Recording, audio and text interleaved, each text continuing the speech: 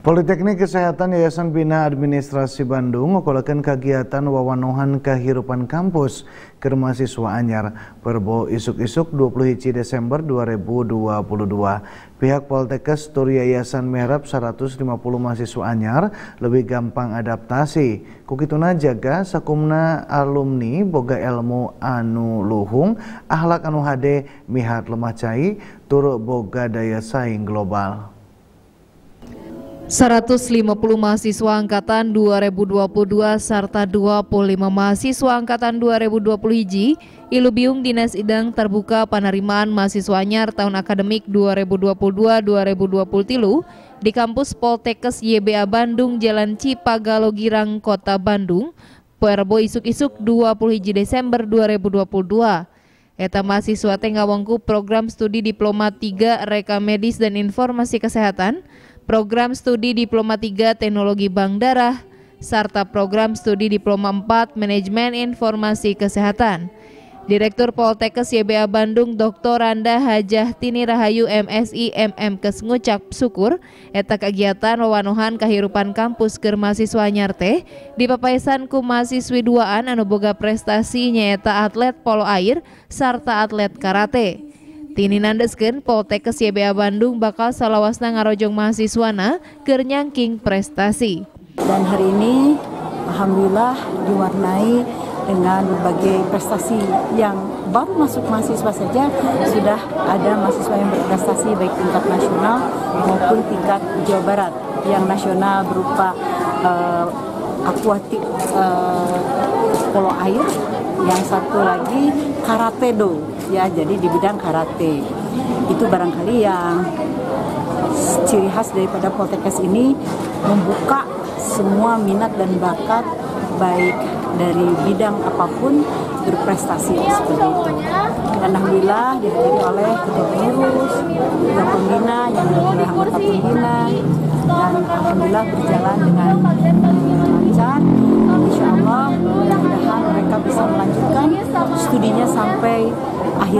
Sampai kelulusan sampai di wisuda seperti itu.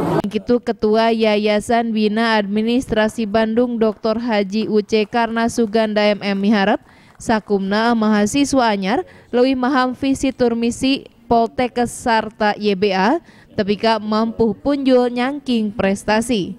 Samalah diri nage miharap Poltekkes anu bakal digabung jeng STIA jadi Bandung University bakal jadi fakultas kedokteran.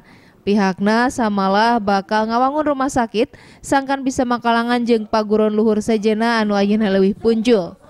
Harapan kami terhadap Poltekkes ini terus terang aja kami punya ambisi ya bukan ambisi atau keinginan, keinginan ya bahwa Poltekkes ini setelah nanti berdiri Unbiu kami ingin uh, mengembangkan bahwa ini sebagai cikal bakal fakultas kedokteran.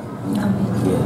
Dan kita bercerita seperti itu dengan fakultas kedokteran karena sekarang bukan kita euforia ya melihat melihat uh, adanya banyaknya ya fakultas kedokteran, tapi kita juga ingin berkiprah di sana untuk membantu ya para mahasiswa mudah-mudahan bisa menjadi dokter lulusan dari kita dan terus saja di samping kita fakultas kedokteran ya kan harus punya rumah sakit. Ya. kita punya obsesi juga di samping akan memberikan kampus yang lebih representatif untuk universitas juga kita ingin mempunyai rumah sakit.